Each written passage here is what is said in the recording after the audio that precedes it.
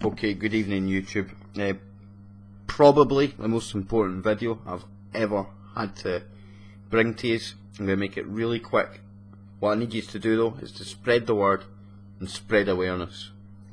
Basically, the ball has already started rolling for a National Service Bill 2013-2014. Now, National Service Bill for that, read conscription, okay? You're going to be enlisted as soon as you're of a fighting age. If we want to look back historically, this kind of bill's been introduced twice in the UK. First, reared its ugly head in 1916 during the First World War, and then it re-emerged in 1937, and we all know what happened a couple of years after that. Now, this one is entitled the National Service Bill 2013 to 2014. It says here the sponsor is a Mr. Philip Hollobone. I've been reliably informed that some of the co-sponsors to this were a Mr. Peter Bone, a Mr. Christopher Chope, C-H-O-P-E, Mr. David Nuttall, and a Mr. Philip Davies. Okay, these are the ones who are, if you're of fighting age, selling your life away, or if you've got children who are growing up and are going to be of fighting age in the next couple of years, this will affect them, okay? And if this does not affect you in any way, say you're a pensioner, or if it just doesn't affect you, it honestly should offend you, okay? And we need to spread awareness on this. If I just point down to this here, the first reading of this bill, which was a private bill, which means it's discussed in a smoky back room by a bunch of Zionists that claim they're the government, okay? It was then first read publicly in the House of Commons on the 24th of June 2013. Now, how many of you knew that? Should this not have been like headline news at the time? Should it not? Well, we have another chance to raise awareness and try and show them public opinion since they are down there to represent us, the public. Okay, that second reading is coming up on the 6th of September 2013. Now, for my American viewers out there, we do the opposite way with the dates. Okay, that's the day here, that's the month, that's the year. Like I say now, I'll just read this. Uh, latest news on the National Service Bill. This bill is expected to have its second reading debate on the 6th of September 2013.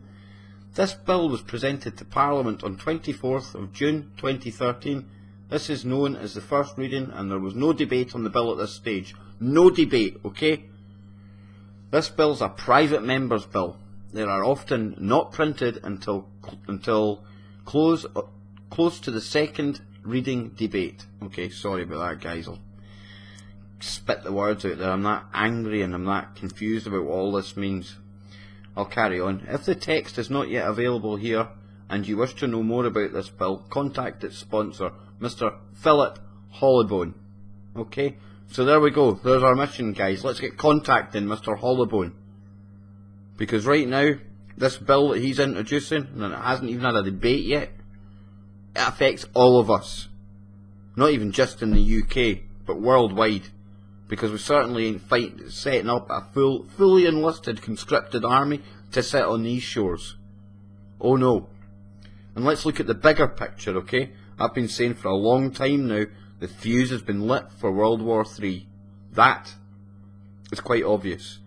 Now how long that fuse burns and how long we've got left before this war goes hot is anyone's guess. But looking at the current situation in the Middle East, we are definitely approaching the precipice of a global conflict. And when you look at something like this bill here, it certainly confounds that idea.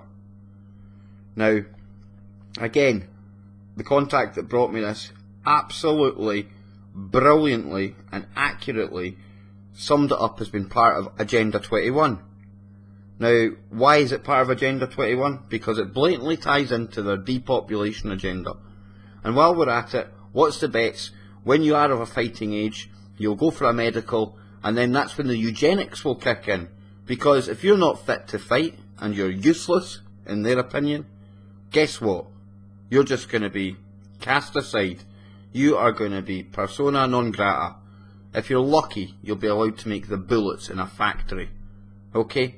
The same bullets that'll be going out to help kill another enlisted, conscripted army of people, no doubt.